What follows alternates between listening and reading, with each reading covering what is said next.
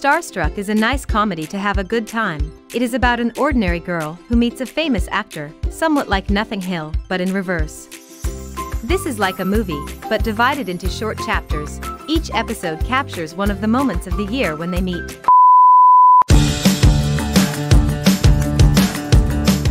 Episode 1 begins with two not-so-pretty girls, Jessie and Kate, at a New Year's Eve party. Jessie meets Tom in a very unlikely way, as in any comedy, and they end up having sex. Oh, God. Oh, yes. On getting up the next morning at Tom's house, Jessie discovers that he is a famous actor. I cannot believe you. There is a sense that he is a quite earthly famous person, and is not at all conceited at the time of relating with her. Initially, the two have awkward conversations, but they gain confidence and become more natural. She later discovers that he is supposed to be with another woman and runs away from the house. When she leaves, there are paparazzi at the door. The funny thing about it is that she scheduled him as Tom Famous, but was so offended by the situation that she did not answer the phone. No, God!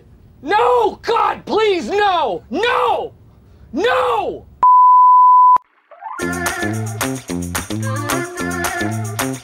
Nothing happens in the first half, Jessie only sees an ex who now has a girlfriend. Tom is eating something with his agent while thinking about his next job. The agent is the remembered Minnie Driver who has lost a lot of weight and is very skinny. I did not recognize her right away, but realized when I saw who acted that it was her. It's alive! It's alive! It's alive! They cross at the exit, but people recognize him, and things get complicated. There's going to be a drink and everyone is tense again, but when they get to her house there's Kate, and nothing happens, he leaves.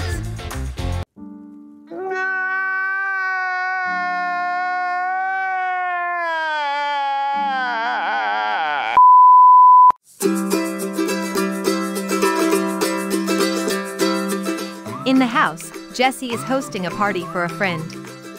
He arrives to work on a script. As in Julia Roberts' meeting with Hugh Grant's family in Notting Hill, there is an uncomfortable dinner. In the end, her friend who works with her at the cinema tells him that Jessie is with another man, so he leaves and things end badly. Houston, we have a problem.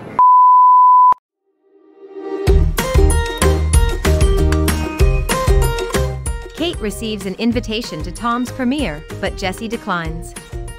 We all know she will go and they will have another awkward encounter. During the event, the movie is bad, so she goes to the bathroom and finds him. There they go to the hotel, and when everything is about to happen, there is another misunderstanding because the actress who works with Tom arrives, and they end up fighting. What we've got here is failure.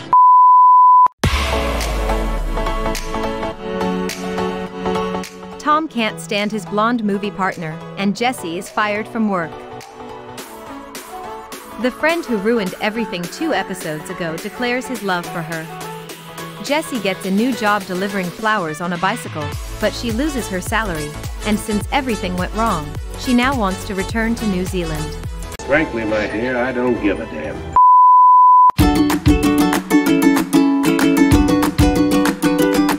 Christmas time. Jessie is meeting with friends, and Tom appears. They apologize for what happened last time, something quite unbelievable, because of how badly they treated each other. All of them leave and Jessie stays with Tom, but he feels bad about eating a brownie that was toxic for some reason. He wants to take her to Ireland for work, but she says she is going to New Zealand. And they say goodbye like, I'm not going to tell you, I don't want to spoil you. If you watched the show you know, and if you didn't watch it you would hate me. In case I don't see ya, good afternoon, good evening, and good night. What do you think of Starstruck? Comment below, and if you liked this video, you will also enjoy this other video that you can see in the thumbnail.